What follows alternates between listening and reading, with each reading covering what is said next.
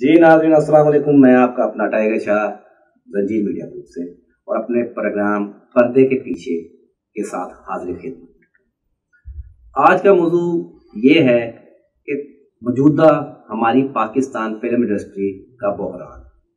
और ये बहरान क्यों है?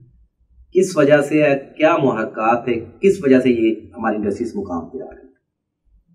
तो अगर हम बात करें सेवेंटी की सेवेंटी फाइव की, एटी की, तब हमारी उर्दू पिक्चर्स एक नाम, एक म्यार के साथ चलती थी। इवन के इंडिया के लोग उनको कॉपी करते थे। वक्त गुजरता गया और पंजाबी पिक्चर का दौर शुरू हुआ। पंजाबी पिक्चर में सुल्तान अही साहब ने जब एंट्री की, उसके बाद पंजाबी पिक्चर का नक्शा ही बदल गया। वो एक एक्शन से भरपूर पिक्चरें बनाने का एक दौर शुरू हुआ, जिसमें काफ़ी लोग एंटर हो गए। काफ़ी हद तक पिक्चरें अच्छी बनती रही। और चलती भी रही, काफ़ी बड़े डायरेक्टर थे, लेकिन जिनसे काफ़ी उन्होंने काम किया, काफ़ी अच्छा काम किया। लेकिन शुभ किस्मत, कुछ अर्से बाद उस इंडस्ट्री के अंदर गुज्जर बरादरी, जट बरादरी और काफ़ी लोग शामिल हो गए। तो ये गुज्जर बरादरी और दूसरे लोगों ने आकर इंडस्ट्री के अंदर एक अजीब सा निज़ाम कायम कर दिया। इंडस्ट्री फिर भी तबाह नहीं होनी थी। इंडस्ट्री पाकिस्तान, खासकर पंजाबी फ़िल्म फ़िल्म इंडस्ट्री है ना, इसकी बर्बादी शुरू तब हुई जब चंद नाम ने हाथ किस्म के डायरेक्टर्स ने पैसे और टेबल कवर बैठ के पिक्चर बनाना शुरू कर फोर्टी ईयर्स अबव हीरोइंस ली दो दो बच्चों की चाचा बच्चों की वालदाएँ थी, आई। उन्होंने आके जितना बेड़ा गर्क था वो आकर करना शुरू कर दिया। वो भी चलता रहा फिर इतफाक समझे, या इंडस्ट्री का जवाल समझे कि सुल्तान राय साहब की वफात राय साहब की वफात के बाद कुछ अरसे के लिए शान ने अपना कंधा लगाया इस पंजाबी फ़िल्म इंडस्ट्री को। लेकिन शान साहब, माशाल्लाह, एक मंजूर एक्टर के साथ साथ एक जहीन आदमी भी थे। जब उन्होंने देखा कि इंडस्ट्री के अंदर ज़्यादा देर तक ये जगह इज्म नहीं चल सकेगा तो उन्होंने साथ ही वाइंड अप कर दिया, पंजाबी पिक्चर को वाइंड अप कर दिया। अब उनके साथ जो सेकंड स्टार थे, जैसे सुतारे मरहूम के साथ सेकंड स्टार थे, मुस्तफ़ा कैशी साहब थे, और काफ़ी दूसरे स्टार जो थे वो सब की रोजी रोटी उन्हीं के साथ थी। जैसे ही वो ख़त्म हुए, सब आहिस्ता आहिस्ता ज़मीन की तरफ़ आना शुरू और बुनियादें समझे कि पंजाबी की हिल गई।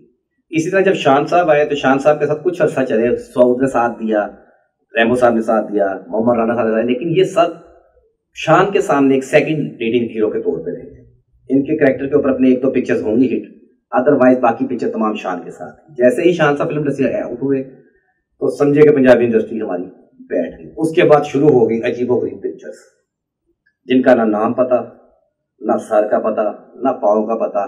सुबह कैमरा निकाला फोर के और जाके पिक्चर की शुरू कर हीरोइन उठी रात को बारह बजे। मुँह हाथ धोया मेकअप थपा और आके पिक्चर बना के फारिग कर दिया। रही सही कसर। माशाल्लाह, हमारे नए राइटर्स डायरेक्टर्स इन्होंने पूरी कर दी। ऐसे डायरेक्टर जो किसी दौर में फाइटर्स के तौर पे काम करते थे, ऐसे डायरेक्टर बने, ऐसे लोग डायरेक्टर बने के जो चाय लेके आते थे, ऐसे लोग डायरेक्टर बने। बने ये नहीं कि उनको काम में कमी थी या कोई चाय लाने वाली, इसमें ये कोई मयूब बात नहीं है। बात यह है कि उन्होंने अपने उस्तादों से कुछ सीखा नहीं। जब उन्होंने कुछ सीखा नहीं है तो दिखाना क्या था पर्दे कुछ भी नहीं। वर्गैलिटी, मुजरा, डांस, गंदा। डांस, मुजरा तो साइमा जी भी करती रही। और आर्टिस्ट भी करते रहे। लेकिन इन्होंने तो इंतहाई कर दी। तो बात यह है कि पंजाबी फ़िल्म इंडस्ट्री का सवाल पंजाबी के जो मौजूदा डायरेक्टर प्रोड्यूसर अपनी उसके ऊपर लगा रहे हैं, वो पाँच लाख की पिक्चर बना रहे हैं, नौ लाख की पिक्चर बना रहे हैं। भाई, नौ लाख की पिक्चर ना बनाओ। उसके ऊपर चौदह लाख लगा लो, पंद्रह लगा लगा लो, अच्छे पिक्चर अच्छे कैमरे, अच्छी स्टोरेज के साथ आप आओ कि आपको पता चले। अगर आपने इंडस्ट्री को ज़िंदा रखना है तो आपको ये करना पड़ेगा, वरना अदरवाइज़ कोरोना आपको तो वैसे ही मार चुका हुआ है। सिनेमाज आपके बंद है। आप क्यों अपना टाइम वक्त जाया करें या सिर्फ़ टाइम पास करने के लिए स्टूडियो के अंदर बैठ के इकट्ठे हो जाते हैं और कहते हैं किसी अच्छे जगह पर इन्वेस्टमेंट करें, आपके हालात ज़्यादा बेटर हो जाएँगे। और दूसरा जगह ये नहीं कर सकते, अच्छे पीटीवी टीवी वगैरह के लिए अच्छे ड्रामे बनाए, अच्छे ड्रामे दें। अच्छे ड्रामों से शायद इंडस्ट्री ऐसा समय दोबारा बहाल हो जाए। लेकिन ये नहीं है कि आप उठे और उठ के पिक्चर एक शुरू कर दी और बस ठीक है जी। पुत्र गामेगा पुत्र साजेगा पुत्र माजेगा, माजा जिंदाबाद, माजा मुर्दाबाद, ये कहानियाँ नहीं, ये स्टोरीज नहीं है। ना कोई सर, ना कोई पैर। एक पिक्चर आप मुझे बता दें। एक पिक्चर बता दें जो अब तक तीन साल या चार साल में ऐसी कोई रिलीज़ हुई जैसे देखकर खुशी हो पिक्चर लगनी थी लेजेंड ऑफ़ मोला जट वो जनाब वैसे अपने किसी कातुल का शिकार हो गई और पिक्चर्स भी बनी थी। हाँ सैयद नूर साहब का नाम लेना मैं भी समझूँगा। नूर साहब ने माशाल्लाह कोशिश की, पाँच दे दी राखी बन रही है। लेकिन वो भी क्या करे? और तो उन्होंने पूरी कोशिश की। काम तो उन्होंने बड़ा अच्छा किया। लेकिन कैसे? क्या कर सकते हैं? सैनमास बंद। तो सैनमास के अंदर सब कुछ ब्लॉक कर दिया गया। कोरोना ने आपको घर के साथ ऊपर पे लगा दिया। अब वो जो अच्छा बनाने वाला है, मेरा ख्याल है कि वो भी नेक्स्ट टाइम बहुत मुश्किल से कोई पिक्चर बनाएगा। और बात यह है कि ये सारी ज़िम्मेदारी मौजूदा दौर के जो डायरेक्टर्स हैं राइटर्स हैं प्रोड्यूसर्स हैं तो बर मेहरबानी एक चीज़ अगर आपको हंड्रेड में अच्छी मिल रही है, उसको आप दस रुपये में खरीदने की बजाय हंड्रेड में ही लें एग्ज़ाम्पल ये कि पाँच लाख की पिक्चर घर से निकल के कपड़े पहन के उन्हीं शलवार में आके पिक्चर होने से और सेट में ज़मीन आसमान का फ़र्क होता है। सेट्स इस्तेमाल करें स्टूडियो के अंदर सेट्स लें स्टूडियो की बहाली में साथ दें सैनमास बनाएँ प्रोड्यूसर को प्रोड्यूसर के पैसे खाने की बजाय उसकी जेब का ख्याल रखे अपने आने वाले मुस्तकबिल सोच के वो पैसा लगाए। तब जाके आपकी इंडस्ट्री पे पाँव खड़ी होगी। और नेक्स्ट टाइम इंशाल्लाह मैं कोशिश करूँगा कि मैं अपने साथ किसी अच्छे सीनियर आर्टिस्ट डायरेक्टर प्रोड्यूसर को साथ बिठाऊँ मॉडल्स को एक्टर्स को साथ बिठाऊं, उनसे इस चीज़ को बारे में डिस्कस करूँ। आपको भी ये मेरी तरफ़ से एक पैगाम है, जिसको अच्छा लगे वो भी मुझसे रब्ता करे, जिसको बुरा लगे वो भी मुझसे रब्ता करे। मैं हरफे आखिर नहीं हूँ, लेकिन मेरी जो अपनी सोच है कि पर्दे के पीछे ये है। कि पर्दे के पीछे ये है कि सिर्फ़ और सिर्फ़ ये है कि एक चूचू का मुरब्बा है। कोई पिक्चर नहीं बन रही, कोई कुछ नहीं बन रहा, कोई सिनेमा में रिलीज़ ही नहीं है। लेकिन लोग चला रहे हैं। देखा ना इंडस्ट्री तो खत्म हो चुकी है, लेकिन फ़िल्में बन रही है भाई। कहाँ बन रही है? किधर जा रही है? ये दिखाना ज़रूरी है। जो कोशिश कर रहा है बंदा, उसे प्रॉपर कोशिश करनी पड़ेगी। उसे ये काम करके दिखाना पड़ेगा।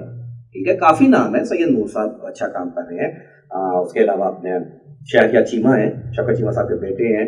उसके अलावा और दो तीन कोशिश करेंगे बासु चौधरी साहब हैं ये लोग कोशिश कर रहे हैं, लेकिन कोशिश नहीं। इसको ये समझे कि ये हमारा इम्तिहान है, और हमने इसमें से टॉप करना ही करना है। तब जाके पिक्चर बनेगी, तब जाके लोग देखेंगे। और ये टिकटॉक वालों को भी बंद करें गवर्नमेंट का काम है टिकटॉक बंद करें। अगर इंडस्ट्री चलानी है तो मान लो पहले इस पर भी डिस्कस कर लें। या एक सीनियर आर्टिस्ट के सामने एक टिकटॉक स्टार आके एक मिनट की पिक्चर बना के तो उसका सारा कैरियर सत्यानाश कर देता तो ये कहानी तो नहीं है। और आगे से, माशाल्लाह, हमारे काफ़ी दोस्त हैं मीडिया विभाग जो सुपरस्टार सुपरस्टार सुपरस्टार कहना शुरू हुए थे अरे भाई सुपरस्टार कौन होता है?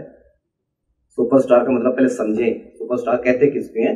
सुपरस्टार वो होता है जिसकी हर पिक्चर गोल्डन जुबली हो सिल्वर जुबली हो। अरे भाई, यहाँ पे तो तीन दिन फ़िल्म चलती, दूसरे पिन पैक खत्म कहानी थिएटर खाली, पल्ले से टिकट देकर बुलाया जाता है। शौक का मुल्क कोई नहीं मेरा मशुरा यह है कि चार पाँच प्रोड्यूसर मिलके ना, चार पाँच प्रोड्यूसर मिल जाए, चार पाँच डायरेक्टर मिलके एक अच्छी पिक्चर बना तो इसके साथ मैं आपसे इजाज़त चाहूँगा। मैं आपका अपना टाइगर शाह अच्छा लगे तब भी लव यू बुरा लगे तब भी लव यू पर्दे के पीछे जो मैं बोल दूँगा। एक गुजारिश है, एक रिक्वेस्ट है, एक मोहब्बत है। वो क्या कहते हैं अल्टीमेटम समझे, मोहब्बत समझे, प्यार समझे, सब है। इसी के बीच में यह कि इस चैनल को आपने लाइक भी करना है सब्सक्राइब भी करना है और शेयर भी करना है। ताकि आपके भाई को ज़्यादा से ज़्यादा लोग देखें। और उन्हें खुशी हो। मेरे अपने तो मुझे पता करेंगे, मैं चाहता हूँ बेगाने भी करें। खुदा हाफिज।